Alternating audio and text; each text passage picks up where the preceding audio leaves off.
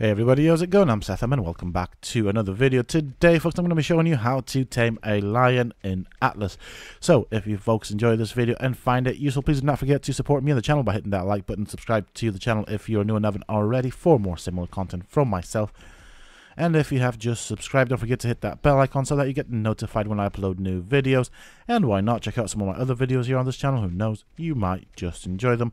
Also, for those interested, you can always find me on the Sethtopia Discord. Links to this, of course, you can find down below in the video description, as well as in a pinned comment. Okay, so once you've got your lion in a trap, very, very important, you need to remember that it is an aggressive creature and it can bite and it does snag onto you. So it does kind of uh, catch you. You need to take it out by doing damage to its health. You need to bring its health down as much as you can. It does do damage as you just saw there. So a front approach is not a good approach on this.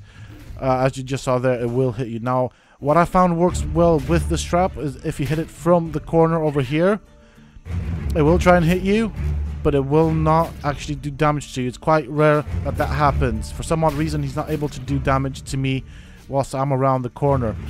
Uh, don't go in the cage with him because he will get you and it will do a lot of damage.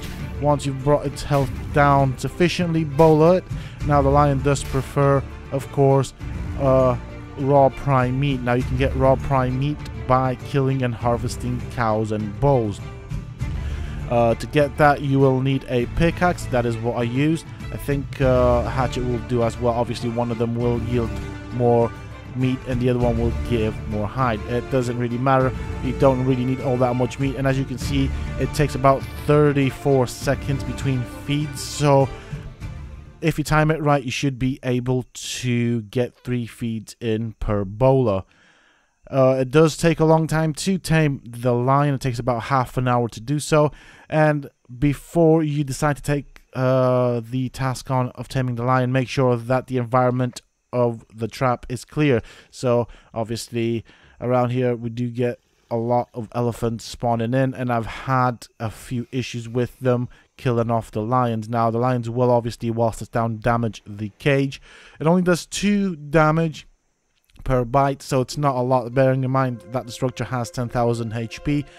However, it will, uh, on occasions, or it does have the potential of hitting an elephant or a bull whilst it's down, as they do wander close to the trap, so you want to clear out the environment.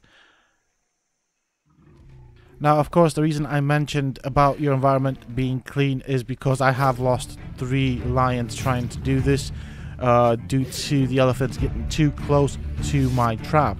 See, there's one that has spawned in, and I need to keep an eye on it. If it gets too close, I will have to take it out.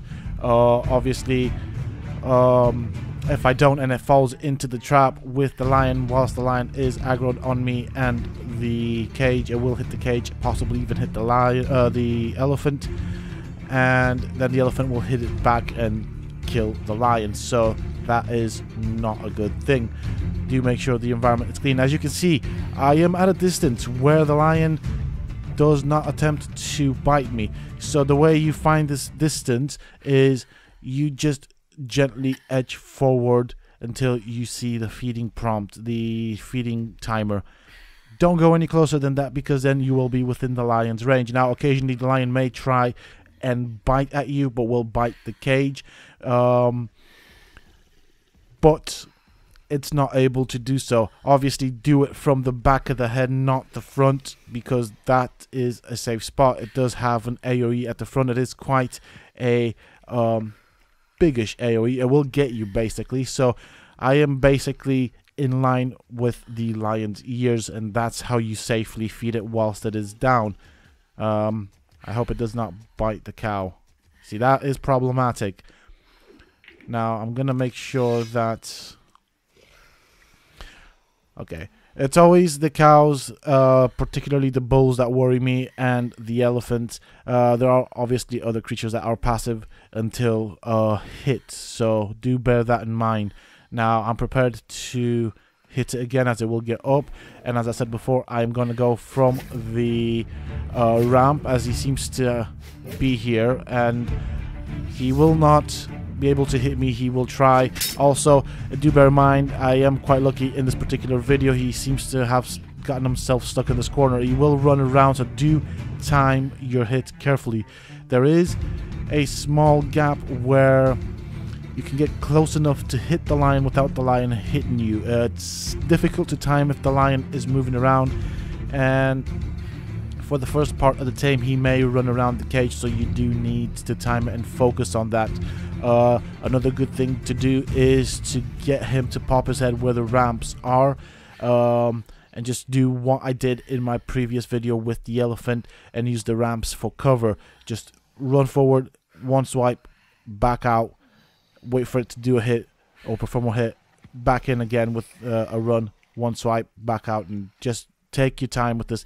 He will do damage to you if he catches you. Also suggest for the purposes of this particular team having a bed to spawn by uh, next to the trap in case you do get killed. Of course, this is a lot easier to do with two people. However, I'm doing this solo. It is doable solo, so do bear that in mind. Uh, you might also want to have a bed nearby in case you need to spawn in. Maybe enclose it as well just to be on the safe side. And as you can see, it's not all that complicated. It's actually easier to tame than the bull. Okay, so he's going to get back up again. So I'm preparing myself. I'm setting myself up uh, with the ramps, which is to my left. Once he's up, I will go and perform a swipe. I don't get too close as well. Or if I get too close, I back out as fast as I can. But always back out. Don't go to the side as you will aggro it and he may end up hitting you. So that's also a possibility. Now he's nearly tamed. And he needed uh, about a stack of prime meat basically so kind of 20 i would obviously bring more than that because um, the prime meat does spoil, so you have to factor that in as well. I don't recommend using um, a rifle on the lion to kite it into the trap. I'd probably use a ranged weapon such as a bow. The rifle does too much damage and will kill it in one shot. With regards to kiting it into the trap, it's very similar to the one with the elephant where you want to kite it from a distance if you can. So I would normally stand to the edge of the trap, uh, align myself in such a way so that the lion has a direct path to me and then once it's close I jump in then run out. Uh, kiting it, as I said, don't use the rifle. It does too much damage to the lion. It will kill it. And so I recommend bows. Obviously, this is a level 3 tame, so you do need to unlock Beast Mastery level 3 in your skill tree to tame it. It does also require that for the saddle, so it needs a level 3 saddle once it is tamed.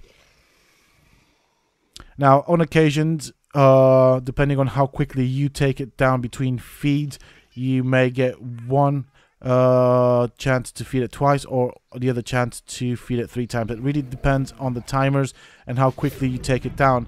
As the timer, of course, does not reset once the lion is up. It does continue counting down, so do bear that in mind. Whereas in my case, I was fortunate enough for the lion to spend most of its time in this corner, making it easy for me to take it down quite quickly, so sometimes I only managed to get two feeds on it. Once tamed, the lion is a good combat mount. It can take down pretty much anything, obviously within reason. Uh, it does have the ability of taking down the elephant. Uh, obviously, that is once tamed, and if it is of a decent level. Uh, it also does harvest meat. It does not harvest any prime meat, so do bear that in mind if you're trying to harvest prime meat off of uh, the bulls. Uh, I think it does harvest, but very little, so you might want to resort to a pickaxe or a hatchet. That is it for this video, folks. I do hope that you have enjoyed it and found it useful. If you have, please do not forget to support me and the channel by hitting that like button. Subscribe to the channel if you're new and haven't already for more similar content from myself. And if you have just subscribed, why not check out some of my other videos here on this channel? Who knows, you might just enjoy them. Also, don't forget to hit that bell icon so that you get notified when I upload new videos. And finally, for those that are interested, you can always find me on the Sethtopia Discord. Links to this, of course, you can find down below. in the video's description as well as in a pinned comment. Until next time, stay safe, folks.